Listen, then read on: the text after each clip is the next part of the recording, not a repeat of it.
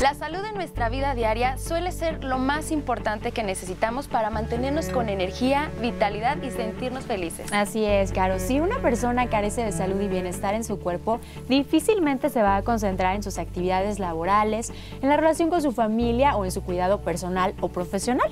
Por eso, en tu día nos preocupamos por llevar hasta sus hogares valiosa información referente a la salud.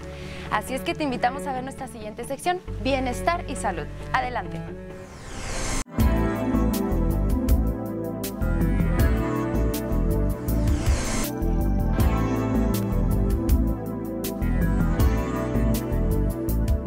La Organización Mundial de la Salud afirma que viven en el mundo más de 35 millones de personas con demencia, pero advierten que la tendencia para el 2030 será que la cifra se duplique.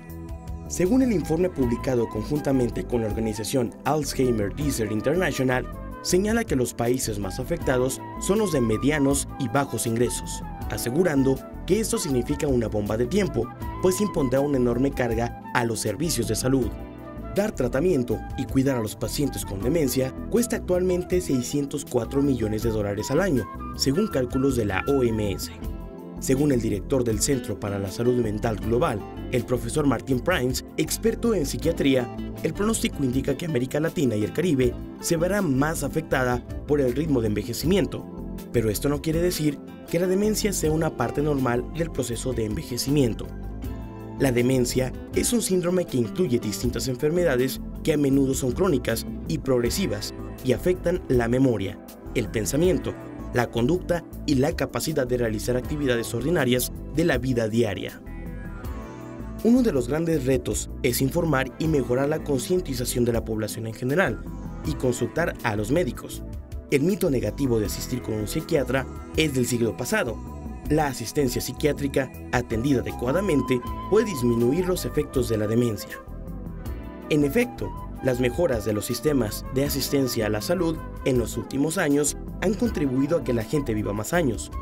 Y en relación a la demencia, no hay razón para prevenir, pero sí muchas recomendaciones para impedir su desarrollo progresivo, según ha insistido la Secretaría de Salud en sus intensas campañas de prevención. La primera, Hacer ejercicio.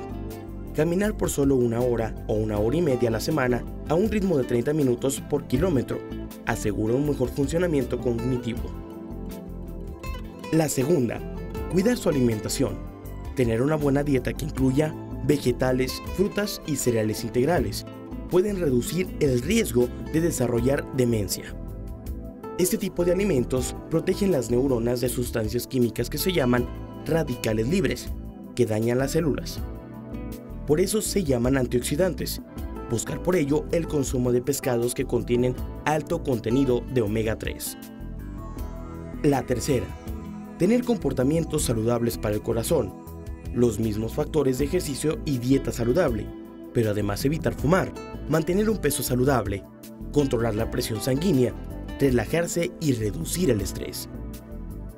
La cuarta, Hacer actividades mentales. La estimulación mental aumenta el número y la fuerza de las conexiones entre las células del cerebro, fortalece las que ya tiene y aumenta un poco el número de neuronas.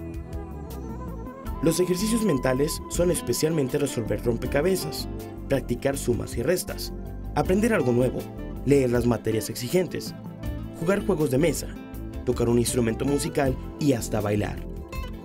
Mucho se puede asegurar que la demencia no es de mala suerte, vivamos activando y motivando el cerebro. Seguramente responderá favorablemente.